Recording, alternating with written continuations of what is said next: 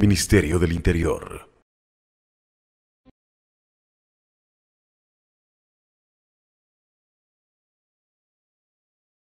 En busca de disminuir el índice delictivo en Guayas, nuevas estrategias se ponen en marcha para acorralar a los antisociales. Un ejemplo de ello son los operativos impacto. La metodología consiste en bloquear por unos minutos una intercepción y revisar a este grupo de conductores y sus acompañantes en busca de individuos con boletas de captura, bienes robados, armas de fuego, cortopulsantes, explosivos, droga, entre otros elementos prohibidos. A medida que pasan los registros, se les permite continuar con su camino. Cabe aclarar que una calle no se cierra por más de 15 minutos, pues los agentes del orden se mueven constantemente hacia otros sectores para sorprender a quienes están al margen de la ley.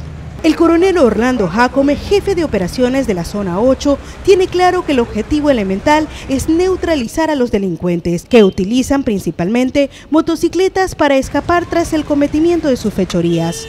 El problema que nos hemos encontrado aquí, ya que nosotros no manejamos el tránsito en la provincia de Guayas, es justamente retirar de circulación estos vehículos que están cometiendo algún tipo de contravención de tránsito, como es el no portar placas, como es el, conductor sin su licencia.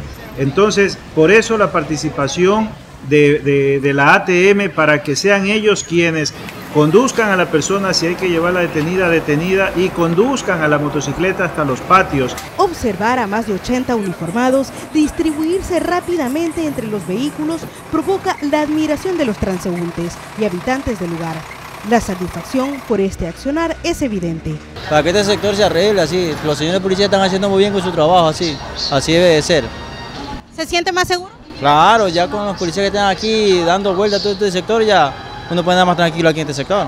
Puede ser que con esto se tranquilice un poco esto de la delincuencia. Está muy bien, me parece bien. ¿Qué le han hecho? Este, ¿Qué le han pedido? Documentos, revisan el cargo nada más.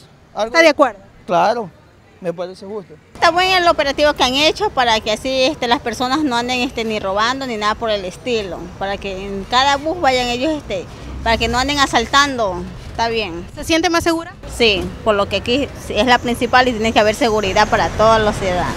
¿Qué le parece que hagan este tipo de operativo? Está bien, está bien, claro, esto está bien. El control es eficiente. En pocas horas ya se registran resultados.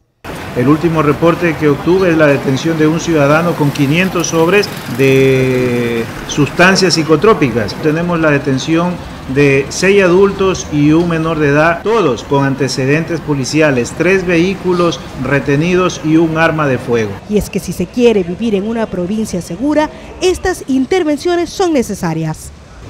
Repito, el tráfico se detiene momentáneamente por el, por el lapso de un minuto a dos minutos por, por un vehículo y la circulación fluye inmediatamente. Así que yo creo que si se quejan porque la policía está trabajando, prefiero que lo hagan, a que se quejen de que la policía no está haciendo absolutamente nada.